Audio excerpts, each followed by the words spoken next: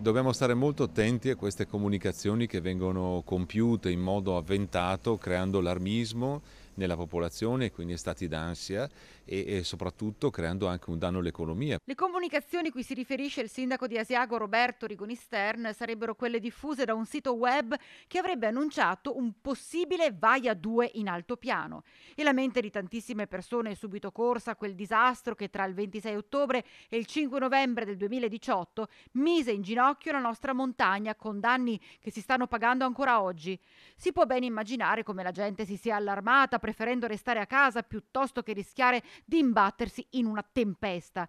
In realtà, più che una tempesta, qui è stato sollevato un gran polverone per nulla e il primo cittadino di Asiago ai nostri microfoni non usa mezzi termini contro chi ha divulgato queste vere e proprie fake news. Pensiamo questo fine settimana che tutto sommato le condizioni meteorologiche hanno garantito anche delle giornate soleggiate, c'era pochissima gente ad Asiago. Io credo che l'informazione meteorologica debba avvenire da parte di centri che forniscano informazioni dettagliate e con cognizione di causa per evitare che eh, si creino allarmismi. È proprio il sindaco che attraverso i social ha voluto inviare un messaggio chiaro con un testimonial d'eccezione. L'immagine dell'acero rosso è testimonianza vera della rinascita dopo le devastazioni determinate dal Vaia. E condanna duramente la superficialità di chi si improvvisa esperto. Chi eh, rilascia, chi diffonde informazioni avventate può creare un danno importante ad un'economia come la nostra che vive di turismo.